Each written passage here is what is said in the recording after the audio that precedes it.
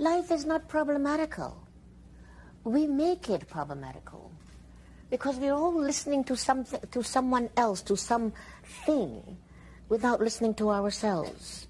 We buy a lot of junk, for instance, that we know damn well we don't need. we clutter up our lives with insignificant things that have no value at all. But when we start to think about how simple life is and how simple it should be lived, then we begin to realize I have no problem. I don't have a real problem. Problem is something you make. Life is something you live.